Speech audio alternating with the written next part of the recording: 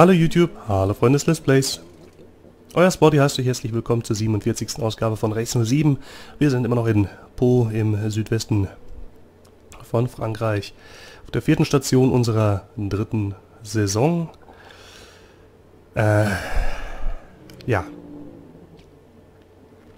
Das erste Rennen, der erste Lauf, war wahrlich nicht zufriedenstellend. Einmal dezent eingeschlagen an einem Reifenstapel, Frontflügel und äh, Aufhängung zerrissen. Eine Runde später verbremst und nochmal Aufhängung und Frontflügel lediert. Und in der letzten Runde, als wir gerade noch so auf den 23. aufgeholt hatten, bleibe ich an der Leitplanke hängen. Ich weiß nicht wie, aber ich habe es trotzdem geschafft, mir dabei das linke Vorderrad abzureißen. Und als Dreirad haben wir es dann auch geschafft, ins Ziel zu hoppeln, aber zufriedenstellend war es nicht. Die Zeiten waren top. Der Anfang war richtig gut. Platz 3 lagen wir im Rennen, hatten von der 12 aus einiges gerissen. Aber jetzt, äh, oder danach lief es halt wirklich absolut, naja. So, dann reduzieren wir mal den Spritbestand ein bisschen.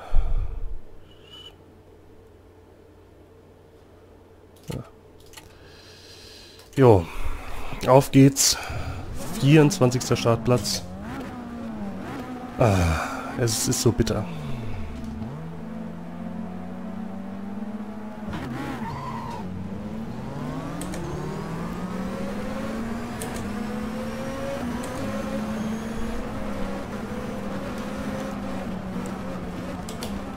Möp, möp, möp.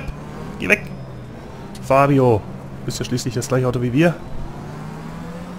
Immerhin von der 24 auf die 14 vorgekommen in der ersten, oder bis zur ersten Kurve.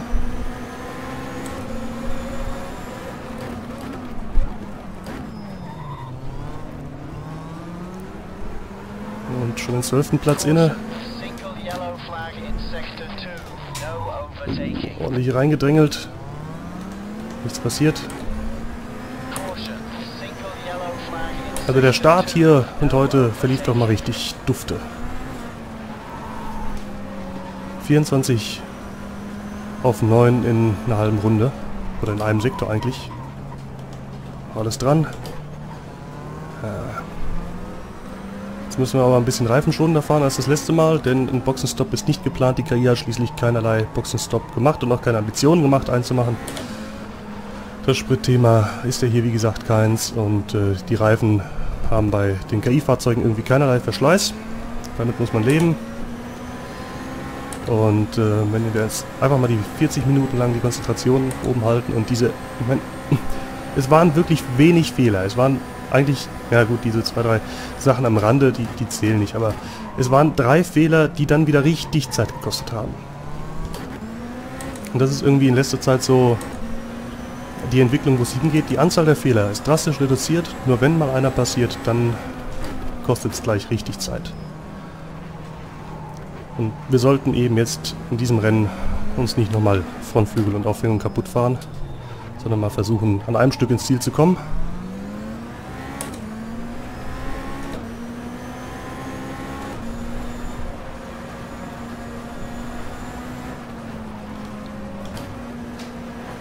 Aber mit der ersten Runde bin ich echt zufrieden. Von der 24 auf die 9 war ein wirklich guter Start.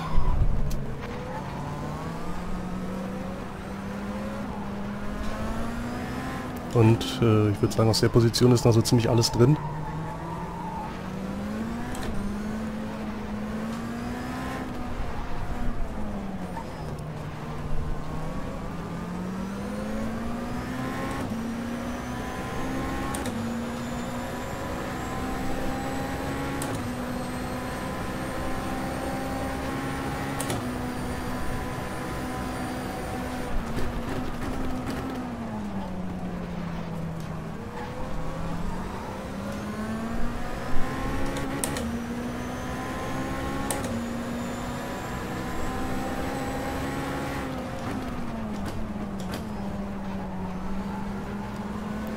Jetzt einfach geduldig sein, keine Harakiri-Aktionen.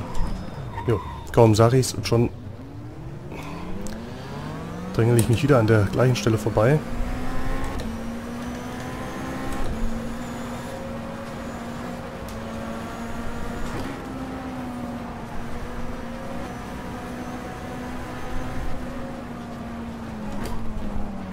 Einfach ein ruhiges Rennen fahren, auf die Reifen achten und wenn sich ein Positionswechsel ergibt, nehmen wir den halt gerne mit.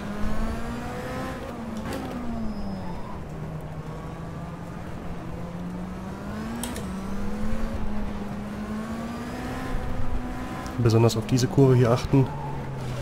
Da war schon wieder fast zu spät. Ist das eine Scheiße. Wer stellt denn da so einen bescheuerten Reifenstapel hin? Mann. Wer soll doch die Fahrzeuge schützen und nicht erst kaputt machen?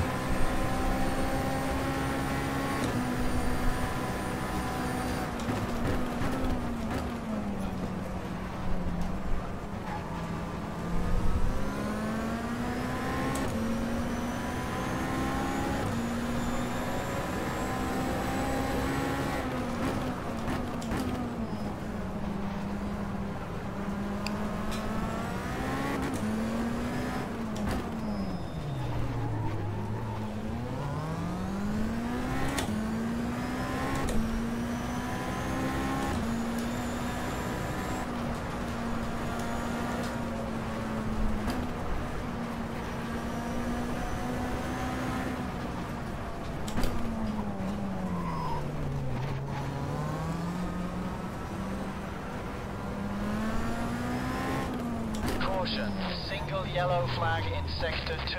No overtaking. Nein, jetzt habe ich mich festgefahren auf diesem scheiß Bordstein.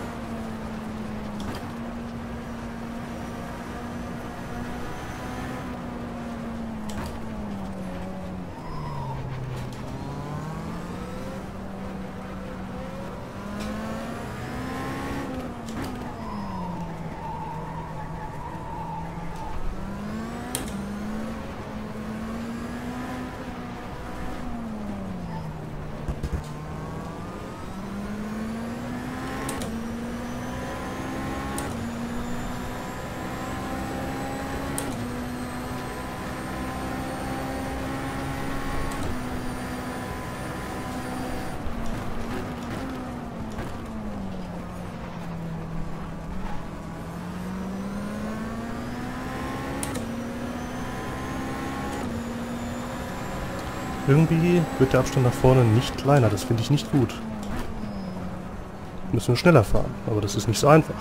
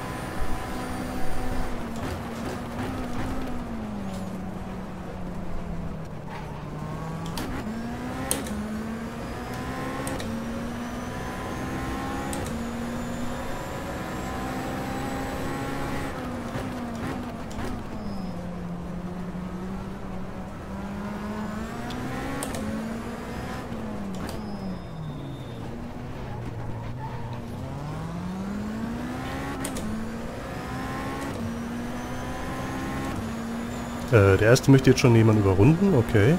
Warum nicht? Soll er mal machen. Am besten lässt er sich dabei ein bisschen aufhalten.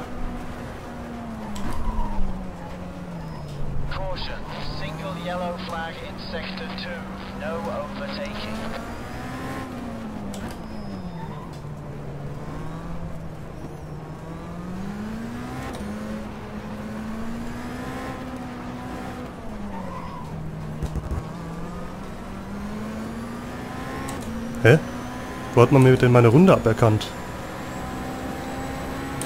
Habe ich irgendwas nicht mitbekommen?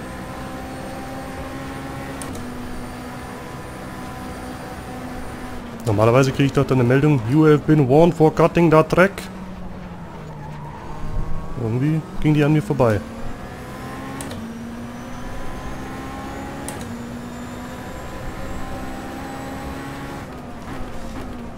Und ich wüsste auch gar nicht, wo ich hier die Track, äh, die, die, die Strecke abkürzen können sollte.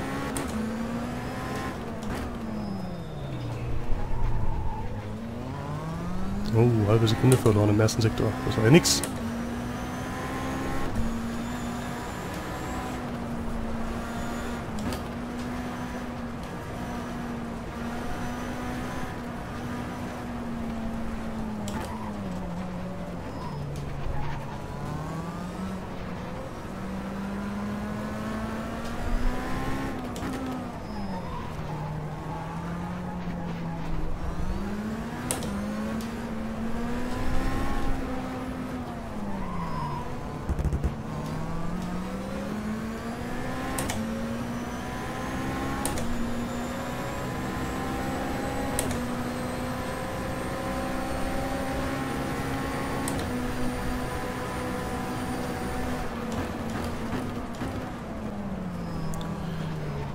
Jetzt blockiert er mich hier.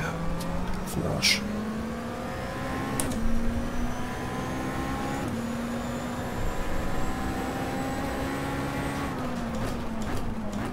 Ah, ich krieg dich in der Haarnadel da oben. Oder in der Spitzkehre. Das Ding ist ja schließlich immer noch nicht geformt wie eine Haarnadel. Leichte Berührung. Ich habe ihn nicht bekommen. So, ein Mist auch. Zählt er mich auf.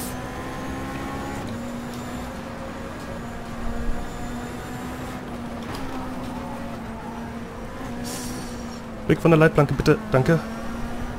Zu freundlich.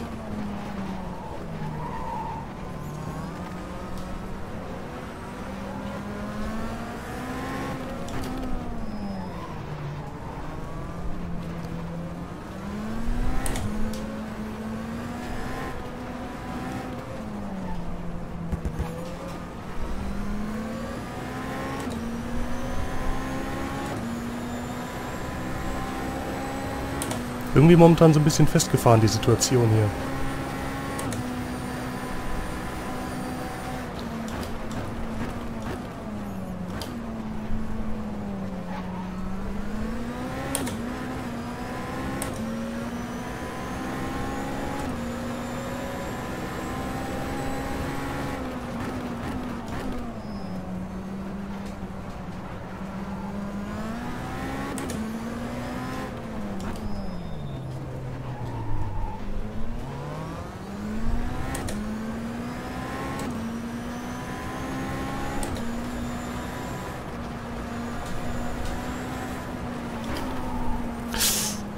Glück gehabt. Da war zwar eine, eine Leitplankenlücke, aber das Rad hielt. Ist das. Vorsicht.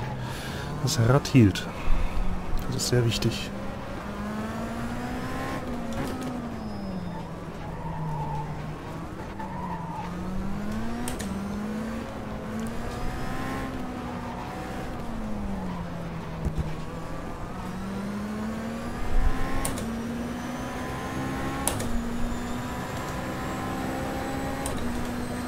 Ja, der Reifenverschleiß sieht momentan auch relativ gesund aus.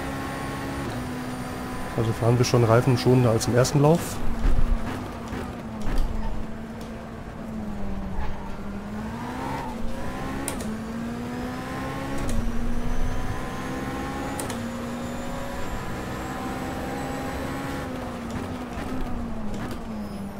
Aber wir fahren nicht unbedingt schneller als im ersten Lauf. Das ist Umstand, den ich nochmal korrigieren muss.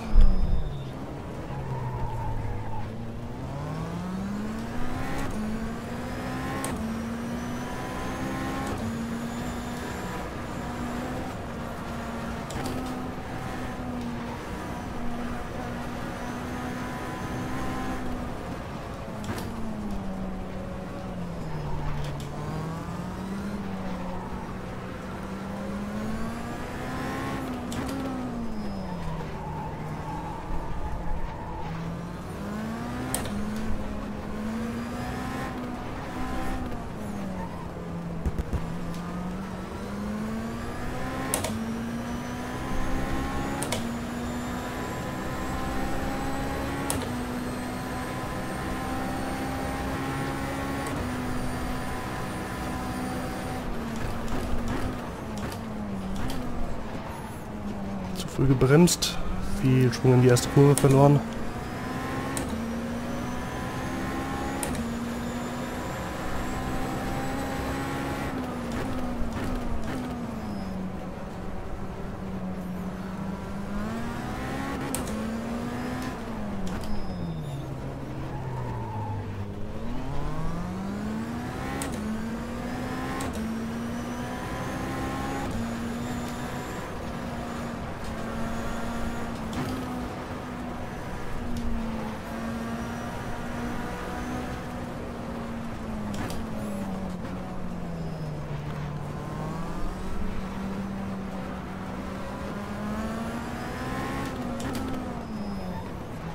Wo ist denn hier jemand gecrasht?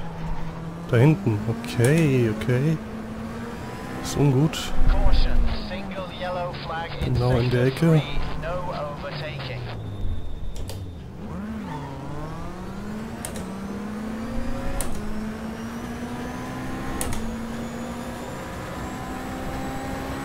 Das war einer der zu überrundenden und der, na, einer von uns liegende, also der fünfte, vierte, wie auch immer. Es war also nicht verkehrt, haben wir zwei Plätze jetzt gewonnen. Einen dadurch, dass der Kollege da stand und den anderen, weil wir den roten ausbeschleunigt haben.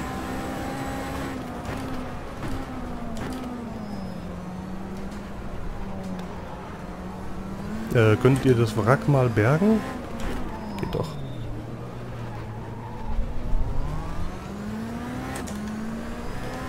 Die Reifen sind gut, Halbzeit fast erreicht. Sprit ist gut.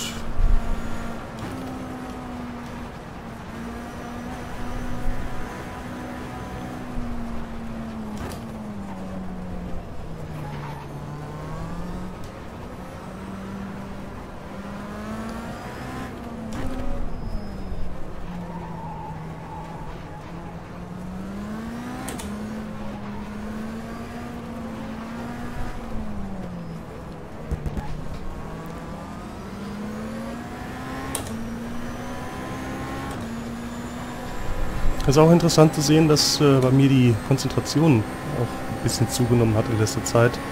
Denn ähm, ich erinnere mich da an, an unser allererstes Rennen mit der Formel BMW. Das war damals noch so ein Stundenlauf und das ging überhaupt nicht. Das ging da hinten los.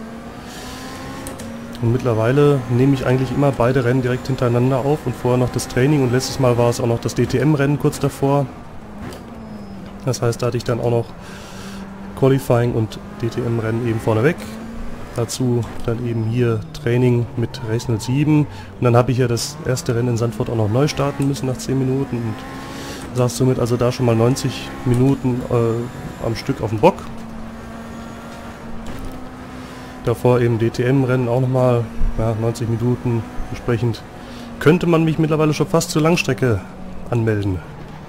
Ja, es ist trotzdem interessant zu sehen, dass man früher bei einer Stunde oder nach, nach einer halben Stunde im Prinzip schon fertig war mit den Nerven und es sich jetzt so entwickelt, dass man auch die Konzentration über zwei Rennen hintereinander aufrechterhalten kann, halbwegs. Und das bei der sengenden Hitze, die hier momentan herrscht.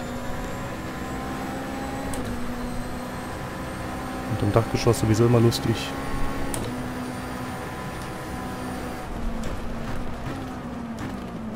Du kriegst mir nicht ins Getriebe, Kollege.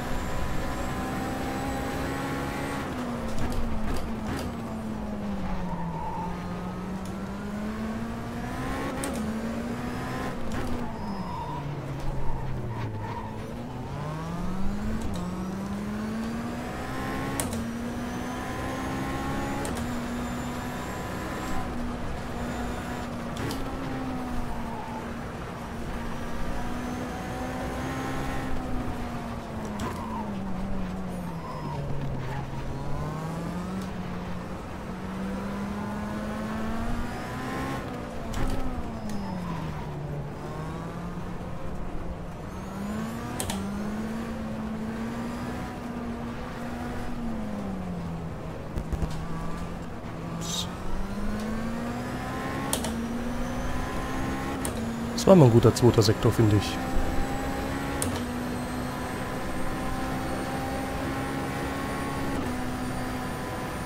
Aber im letzten Sektor wieder weggeworfen, das Ganze.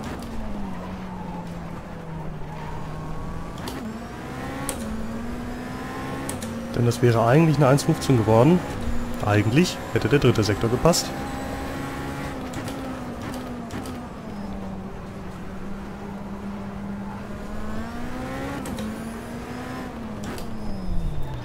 Ersten Sektor nochmal was nachgelegt. Sehr schön.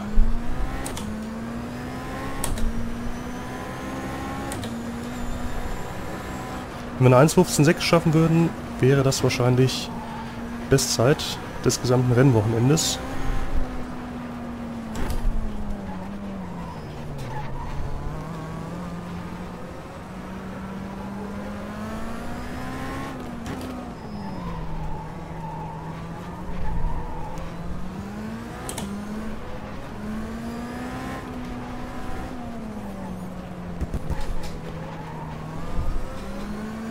nochmal Zeit gefunden im zweiten Sektor, erstaunlich.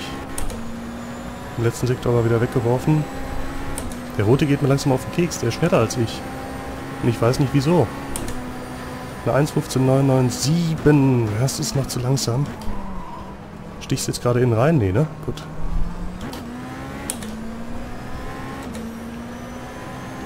Ist noch ungefähr 13 zu langsam, 14.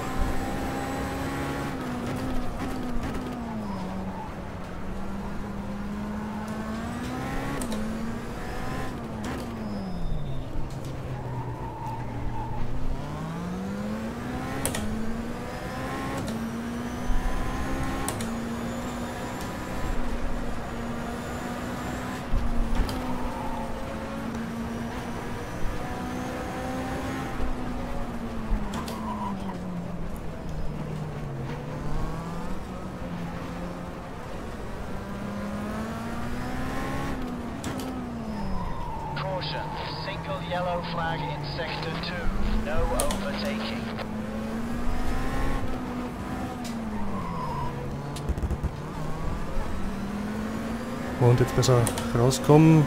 Das sieht sehr, sehr gut aus. Hey, da fährt einer in die Box. Okay, und die KI geht dann sofort auf die Eisen, weil sie denkt, es gibt jetzt gerade eine gelbe Flagge. Das ist interessant. Aber hat uns gerade mal zwei Plätze gebracht. Von daher nehme ich. Wobei eigentlich sogar drei Plätze. Also den einen ausbeschleunigt, der eine ist abgebogen in die Box und der dritte war der Meinung, äh, ich krieg gerade eine gelbe Flagge, deswegen mache ich langsam. Ja, und somit drei Plätze gewonnen. Und jetzt vom 24. Startplatz auf die 2 vor. Wenn wir das Ding nach Hause kutschieren, dann wäre das ein richtig geiles Ergebnis. Und der erste ist ja schließlich auch noch nicht allzu weit weg. Drei Sekunden vor uns. Einfach noch 17 Minuten konzentrieren. Auch wenn es langsam schwer fällt, weil äh, ja, ich hänge jetzt hier schließlich auch schon über 60 Minuten auf dem Bock. Nach Quatsch, ich habe ja noch vorher das Training gemacht, halbe Stunde. Und, ja, 90 Minuten haben wir schon voll. Konzentration ist aber noch da, was die schnellste Rennen oder meine persönlich schnellste Rennrunde vor ein paar Runden gezeigt hat. Und äh, wenn es so weitergeht, können wir das Ding vielleicht sogar gewinnen von der 24 aus. Wäre schon cool. Der nächste in die Box, warum auch immer. Bisschen überbremst. Okay, Reifen sind noch in Ordnung. Sprit 17 Liter sollte locker reichen. Wir haben jetzt 20 verbraucht in 14, äh, in 24 Minuten. Du bist der Führer, ne? Ja, okay.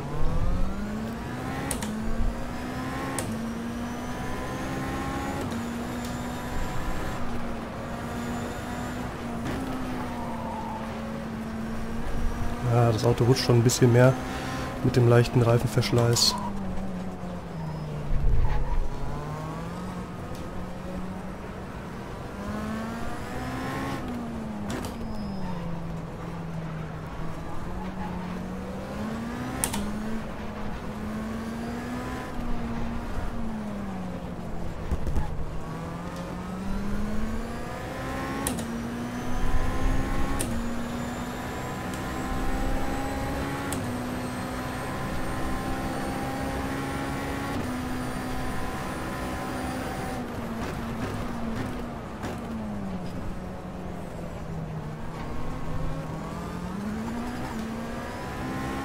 Bisschen zu viel Curb mitgenommen draußen.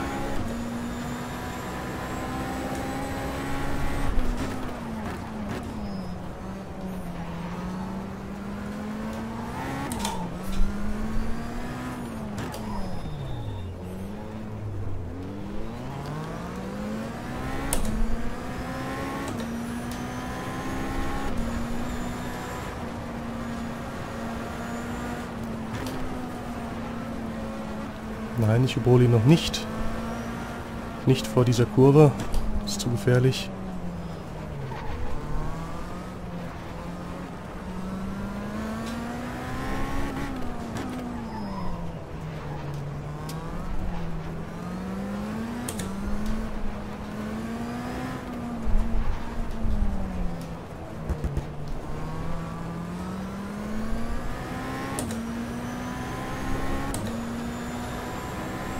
Der dritte 10 Sekunden hinter uns momentan.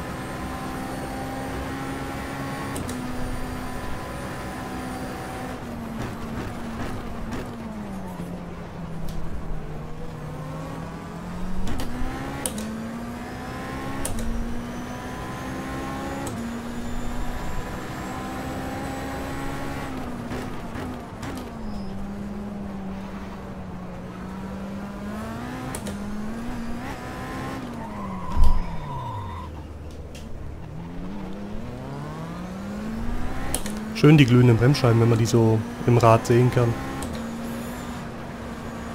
Das fehlt mir irgendwie bei der DTM Experience. Bei allen glühen die Bremsscheiben, wenn ich es mir im Replay anschaue, aber bei mir nicht. Warum auch immer. Also wenn ich dann über die TV-Kameras mir das Ganze nochmal anschaue, um die Screenshots zu machen. Bei allen glüht nur bei mir nicht. Vielleicht bremst du zu wenig oder ich, ich bremse auch zu wenig, nicht hart genug, das habe ich in der Sette Corsa gesehen. Der Ausschlag des Bremspedals ist immer relativ gering. Ich bringe nicht genug Kraft auf. Aber es reicht trotzdem relativ oft, um die Räder zum Blockieren zu bringen. Ja, wir haben halt kein ABS. Und irgendwann ist halt der Druck doch zu groß.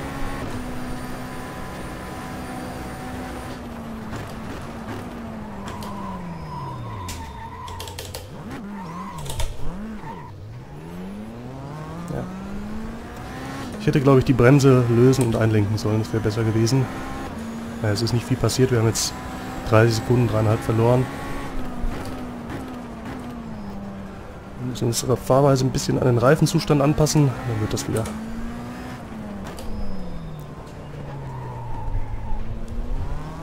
Vier Sekunden, okay.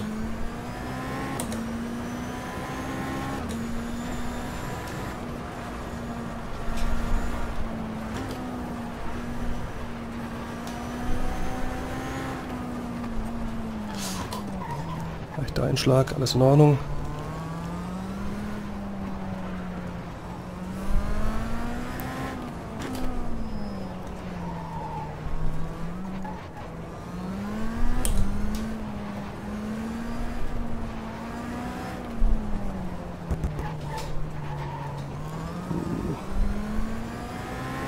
Jetzt wieder konzentrieren und auf den Vordermann aufholen. Der Hintermann ist weit genug weg. Ist noch langsamer unterwegs als wir.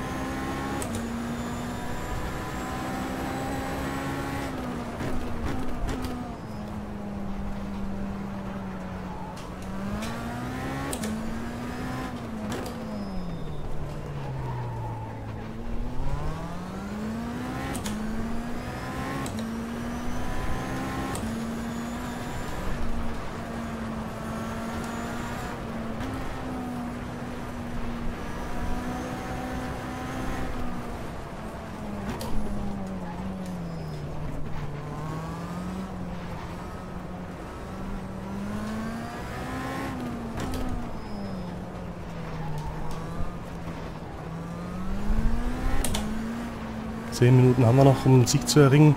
Aber ganz ehrlich, von 24 auf 2 wäre auch alles andere als äh, blamabel. Ich glaube, das wäre vollkommen okay. Wären zum einen wichtige Meisterschaftspunkte und zum anderen 24 auf 2. Das tut auch dem Ego gut. Man sollte jetzt nur nicht bei der Aufholjagd oder bei einer verrückten Aktion das Ding wegwerfen. Das wäre nämlich dann wirklich beschissen.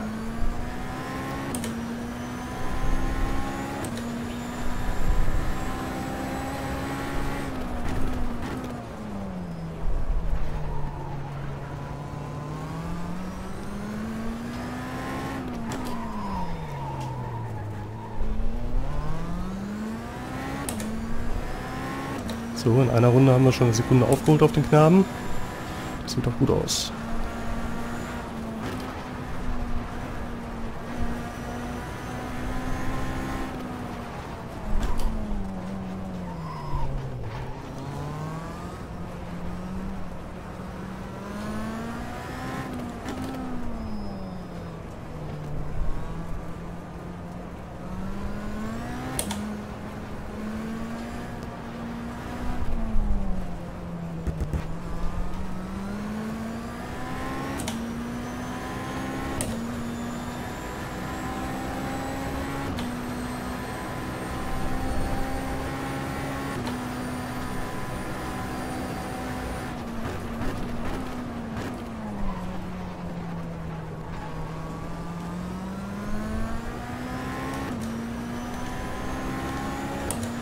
Die Reifen gehen mittlerweile schon ziemlich in den Keller.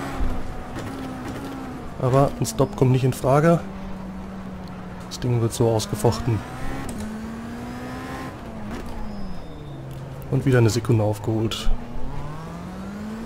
Am Anfang des zweiten Sektors machen wir immer die Zeit gut. Vielleicht auch schon ein bisschen im ersten Sektor.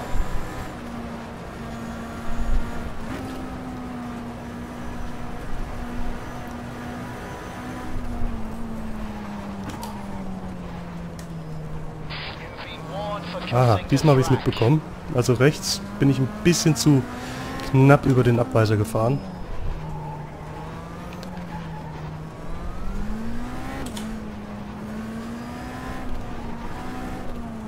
Nicht, dass man mir gleich noch eine Stop-and-Go-Penalty aufbrummt, weil ich äh, dreimal abgekürzt habe. Das äh, andere Mal ist zwar schon 20 Minuten her, aber ich glaube, das Spiel juckt das nicht unbedingt. Okay. Nur vorne links ist leicht in Mitleidenschaft gezogen. Die anderen sind erwartungsgemäß da, wo sie hingehören ungefähr.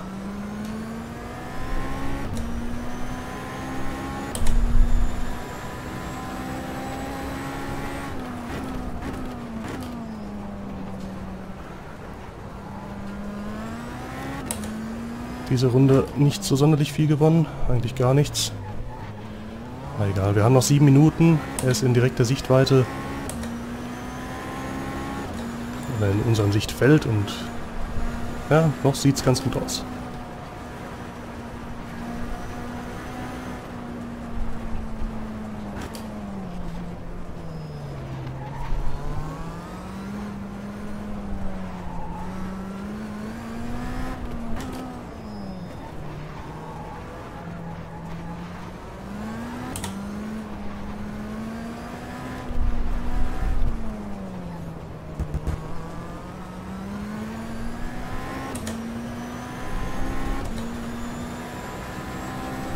Oh. Das ist verwunderlich. Was macht er jetzt in der Box? Ich hatte mich auf einen schönen Zweikampf eingestellt.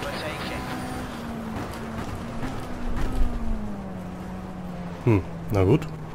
Wenn dem so ist, dann ist dem so.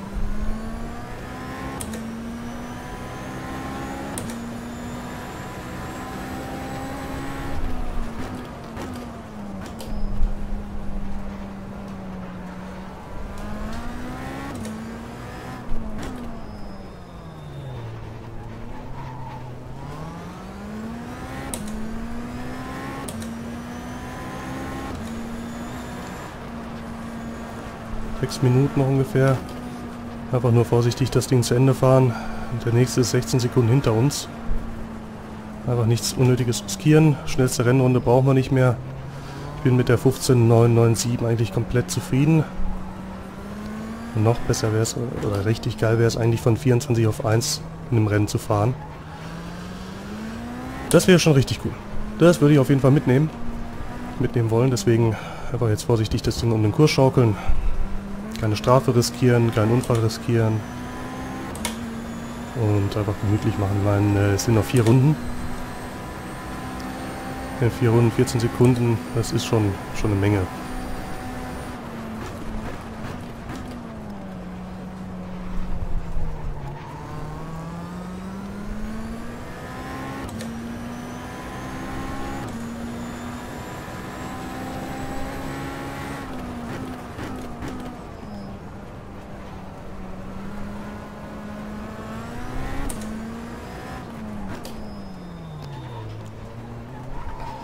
Dieses Rennen auch nur einen Fahrfehler und zwar in der ersten Kurve, der uns ja dann vier Sekunden gekostet hat, einmal verbremst. Zum Glück nicht eingeschlagen. Bisher läuft das Rennen wirklich richtig, richtig gut.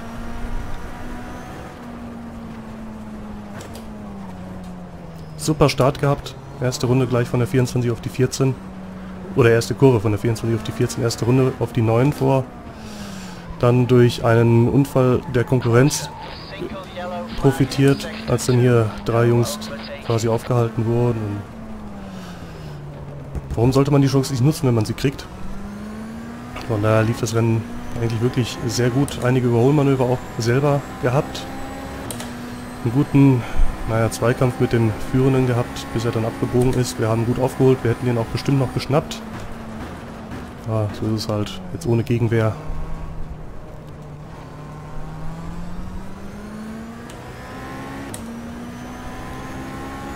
drittletzte Runde ist angebrochen.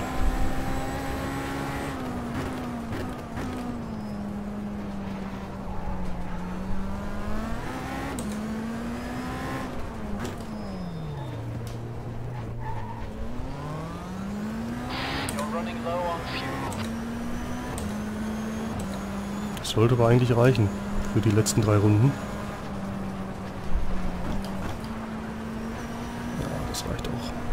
5,5 Liter für drei Runden. Locker. Ups.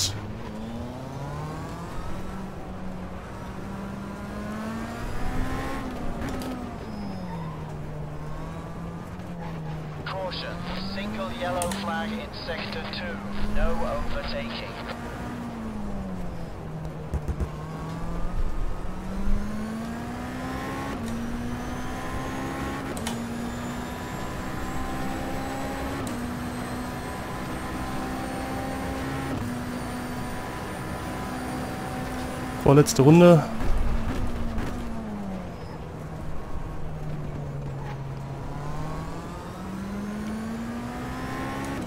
Noch 10 Sekunden Vorsprung. Genug Sprit an Bord, die Reifen sind hinüber, aber egal.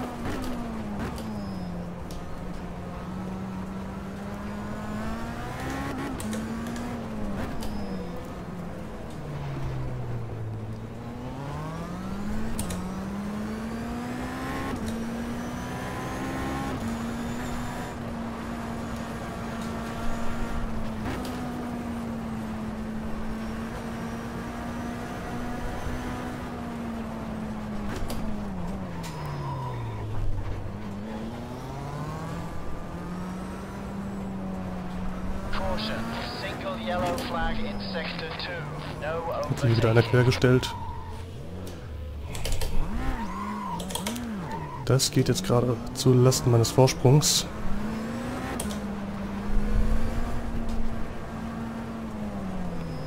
Eine Runde muss ich noch überstehen.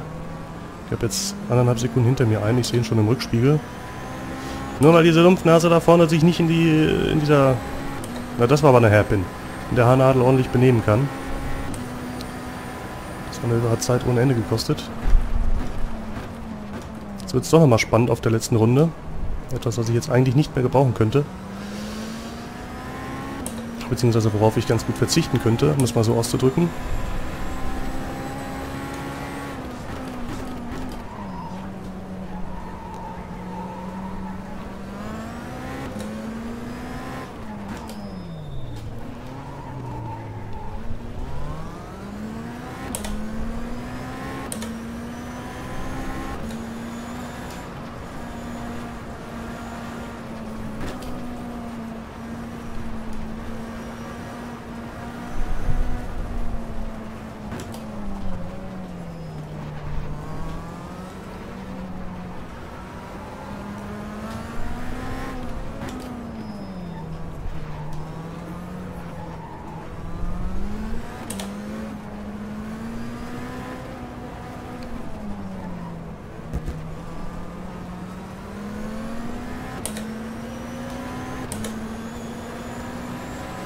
So, jetzt kriegt er uns nicht mehr. Die letzten paar Meter bis zur Ziellinie. Wow. Von der 24, vom letzten Startplatz aus, vor auf die 1. Dank einem guten Start, dank einer guten ersten Runde und dank zwei Fehlern der KI. Wir selber haben nur einen einzigen Fehler gemacht, der uns dann 4 Sekunden gekostet hat. Ansonsten wirklich ein solides Rennen. Vielleicht sollte ich demnächst wirklich vorher schon mal 50 Minuten irgendwie ihr Rennen fahren, damit ich dann die Konzentration noch habe für die, die beiden Race 07 Läufe, weil es waren jetzt vorneweg 70 Minuten, bevor ich das Rennen begonnen habe, die schon ununterbrochen auf dem Box saß und das Rennen lief deutlich besser als der erste Lauf, wo wir mit drei Fehlern unser Auto ziemlich zerlegt haben. Ähm, ja, also wirklich spitzenmäßiges Rennen. Hat absolut Fun gemacht, tolle Aufholjagd. Äh, hier auf den, den damals Erstplatzierten. Ähm, wirklich super solide. Sehr sauber gefahren. Gut mit den Reifen gehaushaltet. Sprit genau abgepasst. Also ich persönlich bin mit dieser Leistung voll auf zufrieden und solltet auch ihr ein bisschen Gefallen dran gefunden haben, dann gebt mir bitte den Daumen nach oben. Wir schauen noch mal ganz kurz in die Ergebnisse rein. Auch die, die Rennrunde, die 1.15.997 fand ich, war schon okay. 1.15.2, alter Schwede, da komme ich nicht mehr hin. Sieben Zehntel finde ich auf der Strecke nicht mehr. In 1.15.6, 1.15.6, 1.15.4, 1.15.1. Ich gehe kaputt. Nee, also da hört es bei mir wirklich auf. Eine mittlere 1.15, äh, eine 1.15, 1.15.6 wäre realistisch gewesen. Hätte der letzte Sektor gepasst. Aber danach ist Ende. Also ich denke, wir sind hier wirklich auf einem ganz guten KI-Niveau momentan. Es hat einfach Fun gemacht. Okay, wir haben auch noch 55 Kilo Ballast an Bord. Es hat wirklich Fun gemacht. Es lief super. Und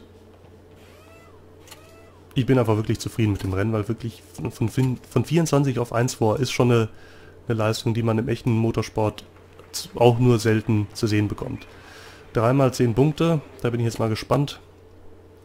Wir sind immer noch Tabellenführer, haben sogar einen Punkt Abstand gewonnen zum zweitplatzierten Handicap-Gewicht 80 Kilo. Das kostet Zeit. Egal. Mir hat es wirklich Spaß gemacht. Euch bitte ich, Däumchen nach oben zu drücken und äh, natürlich auch beim nächsten Lauf wieder dabei zu sein. Wir schauen noch mal ganz kurz, wo es hingeht. Ähm, nach Kiew, Ukraine, nach Tschaika. Ja, äh, als Ersatz für Brünn. Als Ersatz für Brünn.